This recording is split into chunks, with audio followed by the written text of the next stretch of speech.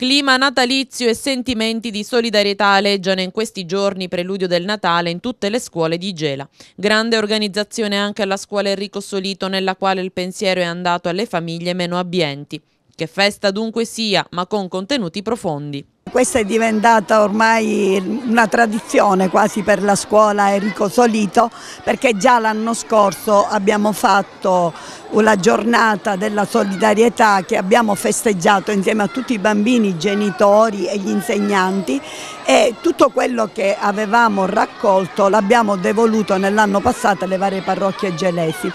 Quest'anno, proprio all'insegna della tradizione, invece il, ciò che si raccoglierà, i, fondi, piccoli fondi che raccoglieremo, eh, da un versante andranno verso la Casa della Misericordia e dall'altra invece all'Unicef. In pratica tutto quello che qui vediamo